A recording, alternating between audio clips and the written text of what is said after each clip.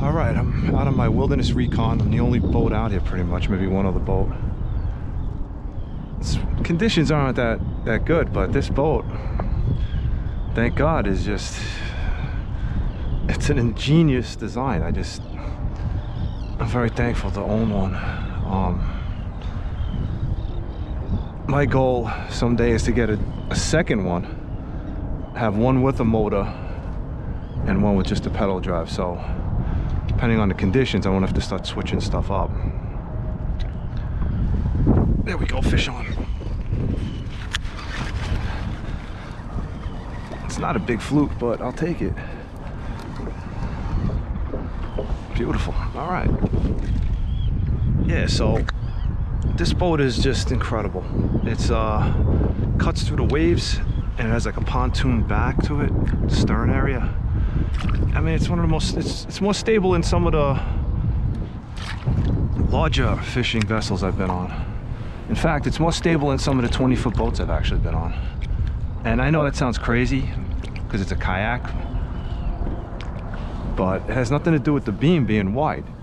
It, it, it does have everything to do with the beam being wide. It's a 38 inch beam, but it's just a superior design. I don't know what, however, I give them great a great amount of credit whoever designed this this particular kayak. It's insane. It's just unbelievable. But um, yeah, I'm going side sideways into a chop here, which is not wise. And I'm confident because of the design. I've been out here many times, 40, 50 foot boats flying by me. And as long as you know how to navigate waters, you're not going to go sideways into a 50 foot boat's wake. But if you know how to go forward towards it nice and easy and then back away from the second one coming at you I mean it's really an incredible design. I'm very impressed with it. And the pedal design is like I mean Wilderness isn't the only one with a pedal drive but I'm very impressed with it. And it's hands hands-free fishing I mean. I literally go around the bait uh, the, the fish and I um, circle them irrespective of the way the tide's coming. Here we go, another fish.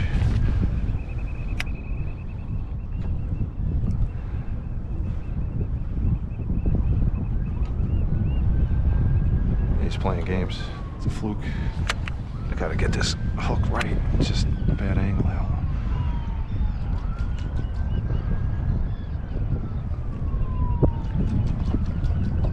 I mean, not not to boast or anything, but I'm up to 300.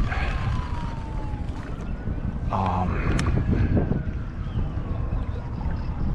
300 and uh, at eight, 330 fish. So 10 keepers, some nice big, a couple big doormats. Not big doormats but 25 inch mini doormats. And I owe it a lot. I mean, most of it to this kayak. I mean, for this season it's tough. It's a tough pick from the shoreline in New York, so not like the old days where you're getting 12 pounders from shore, eight pounders. I've done that too, but just hoping for one more fluke would be nice. Not one more, but I mean in this taping segment, there we go. Oh, that was a sea robin. Felt its back. They have like a very, they have an armor plated back.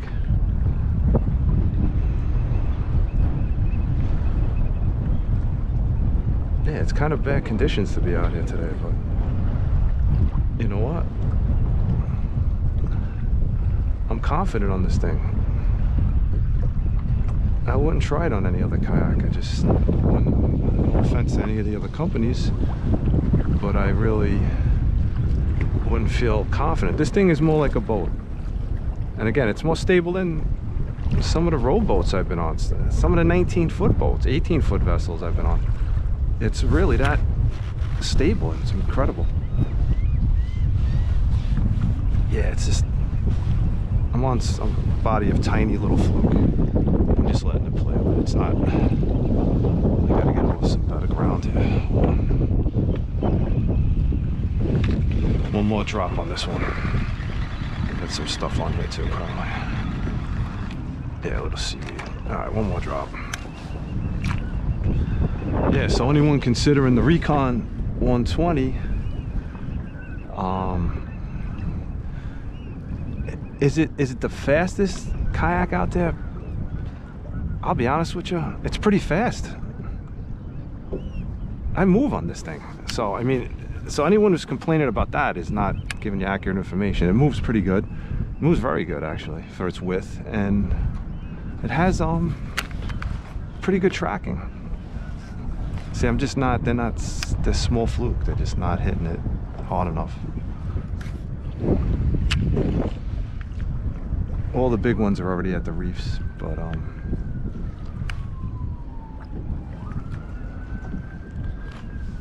yeah, I would definitely, um, I would consider it. I'm not, I don't work for Wilderness. I don't know them from Adam, but um, I had one, not issue with it. I had to just get an extra little thing for it. I called them up and they were very helpful.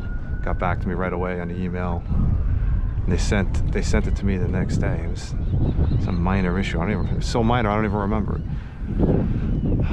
So I think it was a bolt. I needed extra a nut or a bolt. Oh, fell fell off the seat thing and I fixed it. It's nothing major. So um,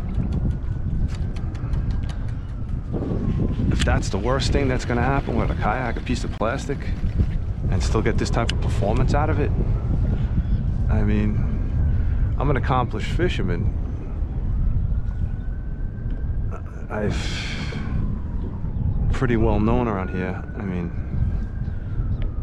amongst people that fish in this area, and um,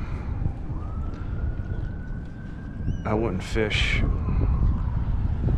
off of something that's dangerous. It's not worth my life. I got children, and um, again, I'm not advocating buying a kayak. If you're not, if you don't know how to swim, you should not own a kayak until you learn how to swim. So if you don't know how to swim, I, I- do not get a kayak until you learn how to swim. Everyone can learn how to swim. It's not a big deal. I'm not trying to be a downtrodden and condescending. I, listen, everyone had to learn. I had to learn how to swim myself at one point in life. So when I was, uh, well, I learned when I was a kid. But the thing is, you need to know how to swim before you want a kayak. Do not buy a kayak, and do not buy a kayak just because I say so. Because if, you don't know how to swim, I don't want to see anybody get hurt. But if you know how to swim and you fish in relatively safe waters, I wouldn't take a kayak off of. Around here, there's been five or six shark attacks in 2022. So I'll be honest with you. There's they're following white sharks off the beach. I've got inside information about that. And they're not monsters, but there's some of them are eight or ten feet. So you know, I'm not going to take this off of the ocean, although I have confidence that I would be able to. I don't want to risk flipping it on the way in with these crazy waves. When you come into the, the beach, it's far more dangerous than if you're launching from a, an inlet or you know some estuary. So, but the bottom line, I would feel confident taking this off offshore. I mean, I feel more confident offshore than in certain other situations that are you know treacherous or whatever, rivers and stuff like that. So th- this kayak is is everything and then some. And my dream someday is to get a duplicate. You got like exact same color, midnight. I'm gonna put a state-of-the-art motor on that one. And um, really good motor on that one. And depending on what I want to do for that. If I pe- if I pedaled and or paddled, I paddle and pedal at the same time on this thing. It's a great workout, and I want to take out.